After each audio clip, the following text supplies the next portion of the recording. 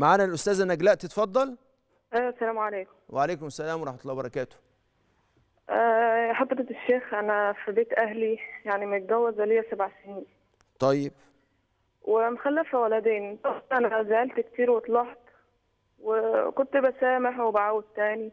لا أنت حضرتك قلت إن أنت برضه كانوا يقفوا معايا أستاذة نجلاء استاذه أستاذة نجلاء أنت بتقولي إن أنت في بيت في بيت أهلك دلوقتي وأنت متجوزة سبع من سبع سنين؟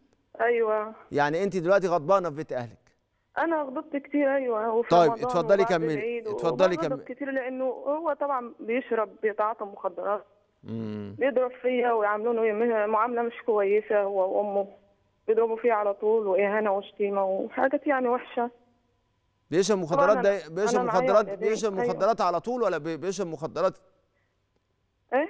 بيشرب مخدرات على طول آه حشيش وبنج وحاجات من دي. طيب وبعدين؟ طبعا أنا جايبة ولدين منه وطبعا المعاملة بتزيد بتبقى أسوأ. هو بيس... بس بي... والدتي والدتي مش واقفة معايا عاوزاني أروح عشان طبعا معامله أسوأ يعني في مشكلة في الصرف على البيت وفي مشكلة في الحنية على أيوة، الأولاد آه. وفي م... وطبعا أنت قلتي لي إن هو في ضرب وفي أذى وكده ففي آه، مشكلة في آه. التعامل معاكي. وهو. وبي... واهانه وشتيمه وشغال ولا مش شغال؟ هو شغال ولا مش شغال هو لا ده جايب توك توك كده يعني جابوا بالعافية برضه أهله هم اللي. فضلوا يقولوا له جيب توك توك اشتغل عليه وخلاص عشان أولادك امم طيب طبعا آه. أنت عايز بتسأليني تعملي إيه مش كده أيوه قالوا لي روحي بلغتي وأنا مش عارفة أعمل حاجة أهلي قالوا لي هنساعدك ونجيب حقك بس أنا قاعدة ليا خمس شهور أهو ولا أكتر مش عارفة أشوف أولادي ولا عارفة أجيب حقي ولا عارفة أخلص نفسي طب منه طب ولا عارفة أعمل أي حاجة. ليه, ليه أولادك معاكي مش معاكي؟ لا مش معايا مش عارفة أشوفهم كمان. هم ليه- ليه- أبوه ليه- ليه- ليه ليه هم أولادك عندهم كام سنة؟ ولد عنده ست سنين والتاني أربعة. يا نهار أبيض. أمال سايباهم.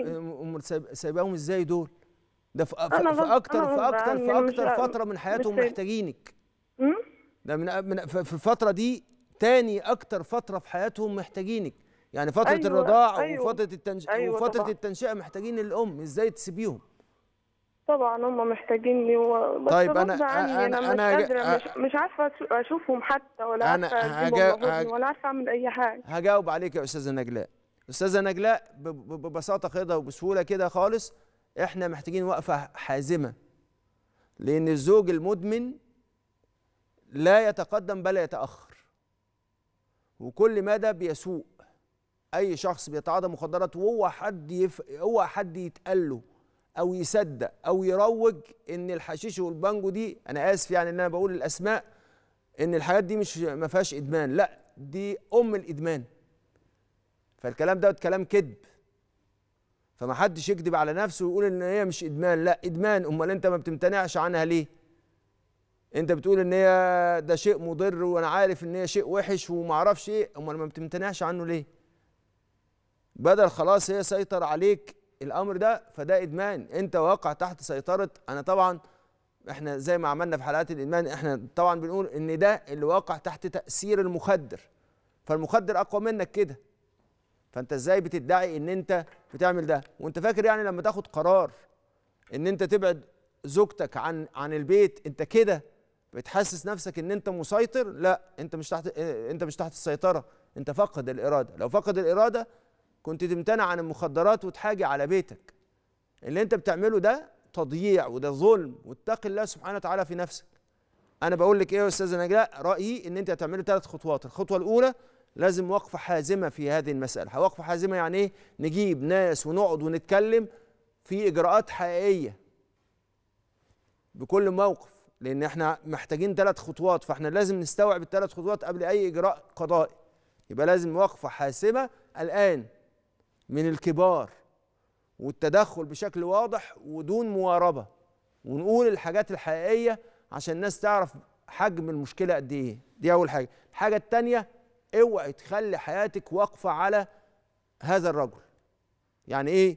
أنا مش بتكلم على أي شيء لكن انت لازم تبحثي عن شيء إضافي في حياتك عشان تقدري تكملي حياتك لأن واضح إن هو مش بس آه عنده ظلم لكن عنده كمان أهل يساعدوه على هذا الظلم. واحدة أولادها عندهم ست سنين وأربع سنين ولا ست سنين ولا ثمان سنين وأولادها بعيد عنها. أنتوا بتعملوا كده أنتوا إزاي طايقين إن أنتوا تعملوا كده في أطفال صغار؟ الأطفال دول هيتربوا إزاي؟ هيتراعوا إزاي؟ أكيد بيقهروا وبيذلوا وبي وبيحسوا بال بال بالوجع اللي فيه. ولذلك هم لازم نفهم إن إحنا لازم حياتنا يبقى فيها شيء إضافي. يعني كما أقول لو إنك أنت ما بتشتغليش وقادرة وقادرة تعملي اشتغلي.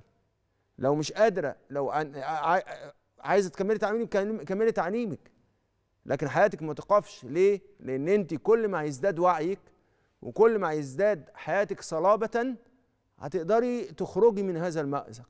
وده شيء مهم جدا جدا. الامر الثاني أنت لازم تدعي في كل ركعة من ركعات صلاتك إن ربنا يزيل عنك دي لأن الله سبحانه وتعالى عند المنكسرة قلوبهم. إن شاء الله ربنا يبارك لك ويخرجك مما أنت فيه يا أستاذة نجلاء.